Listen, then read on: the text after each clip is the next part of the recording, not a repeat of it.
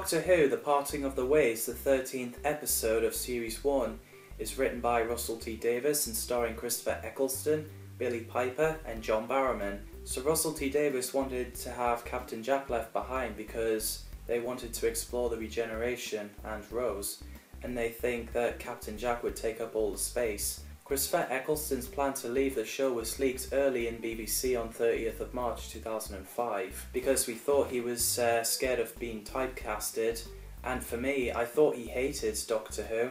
But until recently we found out why Chris left. It was because of his relationship between himself and Russell T Davies and the other crew went down. And turns out Christopher Eccleston actually loved playing the Doctor Plus, Chris uh, described chronic uh, eating disorders and depression and said that he had considered suicide, speaking about his poor mental health. He wrote that down as he was a lifelong body hater. I feel sorry for him. I'm happy he's coming back for audio series. It's nice to see him being the Doctor again, as I do miss him as the Doctor which I hope he comes back for 60th anniversary. So the episode begun with uh, TARDIS flying towards the Dalek spaceship, and I love that scene, especially the way Murray Gold did the music. It fits in perfectly. The Doctor gets a time warp come back. When he looked at the Dalek insides after Jack blasted a Dalek, the TARDIS materialised around it, along with Rose. The design of Emperor Dalek is outstanding. I love the Emperor Dalek. I wish they had him back. That was the scene where we find out that the Daleks became half human, but they don't want to admit it as they hate their own existence. This two-part story is where I first know the Daleks. When my mum mentioned it's got robots in it, when I was only six or seven, I was like, oh, I can't wait to see it then. When I saw the Daleks, I was like, wow, they are scary. These are the creatures you want to keep away from. I wasn't expecting to see something like this. When it takes the Doctor three days to build a delta wave, the Daleks will take over 20 minutes to arrive, so we have no idea what he's going to do about that. The Doctor understandably got Rose into the TARDIS and sent her back home because he cares for her and he wants her to be safe and have a good life. But Rose was having none of it. This is why I loved Rose. She cares for the Doctor so much and she does anything to be with the Doctor and help him. When we find out that Emperor Dalek has got nothing to do with Bad Wolf, and we were like, are we to find out? I mean, what is Bad Wolf? Is it a wolf that's being naughty or something? Meanwhile, Rose sits in a cafe not eating chips, while Jackie and Mickey were discussing this new uh, pizza shop just before when Rose makes a scene by kicking off. Makes me wanting pizza now. We find out that the writing of Bad Wolf is a message when Rose says there's nothing left of her. That's because, well, how can you have a normal life after seeing what's out there in time and space? And she's like, nope, I'm helping the doctor, I'm not staying here letting him die.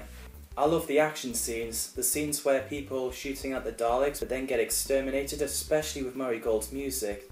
I love that. For me, it's the most scariest Dalek story in New Who, in my opinion. I had hell of a goosebumps watching this as a kid.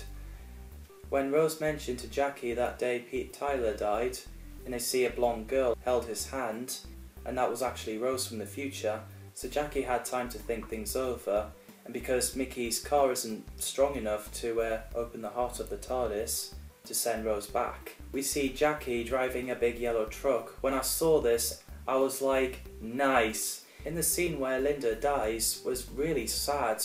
We're like, no!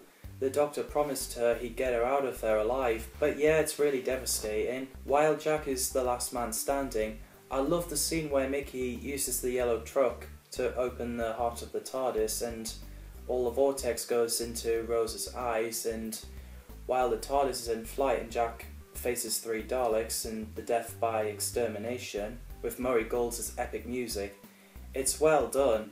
It's like a horror sci-fi action movie. When the Doctor is about to wipe out the entire Dalek race, he stopped and was like, Coward, any day. Before the Daleks finally get to exterminate the Doctor, Rose came back and turns out she's the bad wolf. If Time Lord did that, they'd become a god. When Rose wiped out the Daleks and Emperor Dalek, it turned them into dust. It was like Thanos when he uh, snapped his fingers at the end of uh, Avengers Infinity War. What caused the Doctor to regenerate was to absorb the time vortex from Rose and killed every cell of his body. It was the last time you see Captain Jack for Series 1, in a scene where Captain Jack is back to life and got up and have a look at the dust and then he hears the TARDIS dematerialised and, and he was too late. So that was the last time you see him until he returns to the spin-off series Torchwood, as he's such a popular character. The Doctor's speech is nice, it's really sad to see Chris go. It's like a sad scene, but at the same time, it's like it's time's up, time to say goodbye. Before, when I found out the Doctor can regenerate, I did forget at that point he wasn't human. My mum said that he's going to change his head. I was like, wait, what? And yeah, that's when Christopher Eccleston regenerated to David Tennant. The 10th Doctor has got fantastic first words and then credits roll just after when he smiled at Rose. Apparently, uh, Billie Piper wasn't there when David's scene was uh, shot. He was talking to sticky tape indicating Billie's eye line and then edit it into the broadcast version. So yeah, I love this episode because of the action, the casts, the music, and the Daleks are terrifying. Gives me the goosebumps, like in Bad Wolf. So, what are your thoughts of this episode? Drop it down in the comments below, and I'm happy to talk about the Christmas invasion. Thanks for watching. See you in the next video.